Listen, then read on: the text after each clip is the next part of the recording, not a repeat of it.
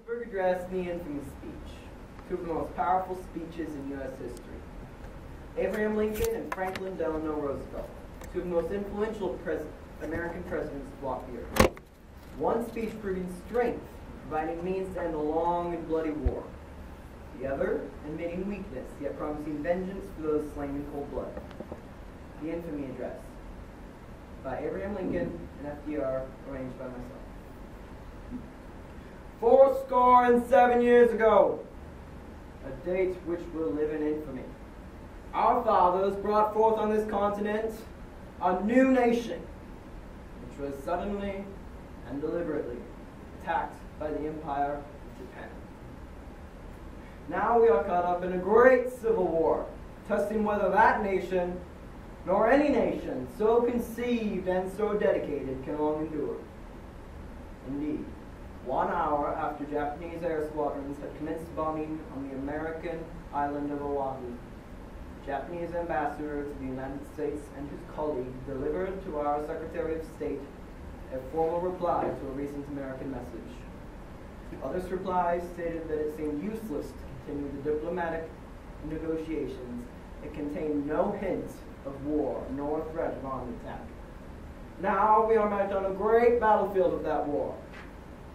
It will be recorded that the distance of Hawaii from Japan makes it obvious that the attack was deliberately planned many days or even weeks ago.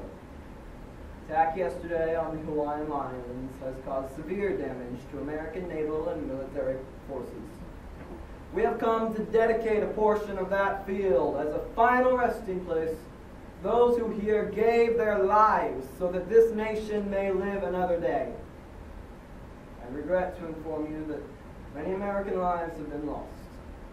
In addition, American ships have been reported torpedoed on the high seas between San Francisco and Honolulu. But in a larger sense, we cannot dedicate, we cannot consecrate, we cannot hallow this ground. Yesterday, the Japanese government also launched an attack against American forces stationed in Malaya. The brave men, living and dead, who struggled there have consecrated it, far above our poor, poor power to add or detract. Last night, Japanese forces also attacked American forces stationed in Hong Kong. The world will little note nor long remember what we say here, but it will always remember what they did here. Last night, Japanese forces attacked Midway Island. Japan has therefore undertaken a surprise offensive extending throughout the entire Pacific area. The people of the United States have already formed their opinions and well understand the implications to the very life and safety of our nation.